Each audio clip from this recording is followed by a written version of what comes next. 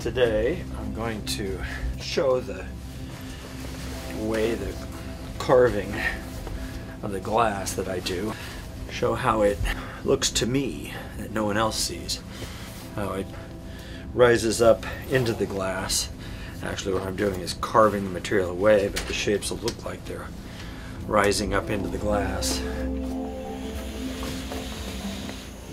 I've really taken this idea that, oh, you're using computers, it's not art, and turned it on its head. I'd like the idea that you primarily use computers to initiate the art. Everything else is done by hand, but those beginning images I use digitally and I convert them to lines and I have machines cut vectors, but I'm doing things photographically now where I'm carving with a special UV process and it's all science related because I'm really fascinated with science. I, I took a, a, test once, um, two-day aptitude test, and they said I'm half scientist, half artist.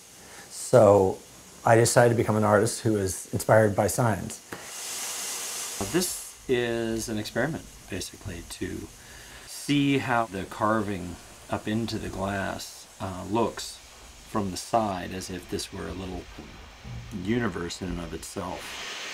My work is primarily about texture and repeating forms that I see everywhere from images from nature to man-made things. If I make something so unique and so original that it doesn't exist anywhere else, that really grabs your attention.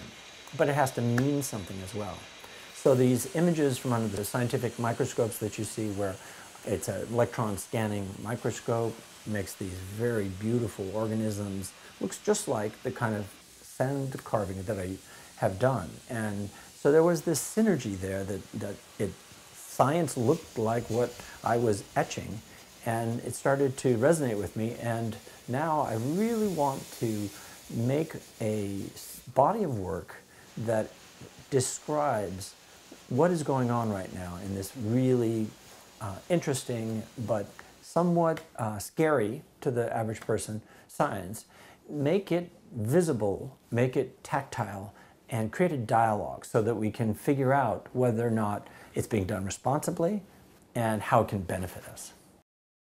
This particular field, the bioengineering and engineered organisms, creates such passion in people, positive and negative, that that's an area that I would very much like to touch on. This is a cause and a subject I really believe in. And I think that, that tapping in to the power of human emotion is a wonderful, wonderful idea. If I'm really this artist who wants to explore new things every time and I want to be able to support myself doing it, than doing things out of, out of glass, which is an exotic material, especially when you get light to pass through it. It's changing the nature of the glass using photographic processes from scientific research that really is what fascinates me. What a long journey it's been to get to this point. This is more a direction I'm going using primarily glass um, to call attention to what I see in structure and form and texture around me and how I see it being combined in the sciences, it being those natural, evolved structures and forms from nature, how those are being combined with human research. And this material lends itself very well to describing how things look under the microscope. It looks just like what you see under the microscope. So I'm using it as a way to make a visual, a tactile reference and connection that people can look at, touch, and think about how things that are just far too tiny to ever see, much less wrap your head around the concept of how scientists are using them to benefit us. All these kinds of radical new sciences. But like any new science, I think it's really going to change things and has the potential for great good. And I'd like to address that. I'd like to make art that makes us talk about how that can happen.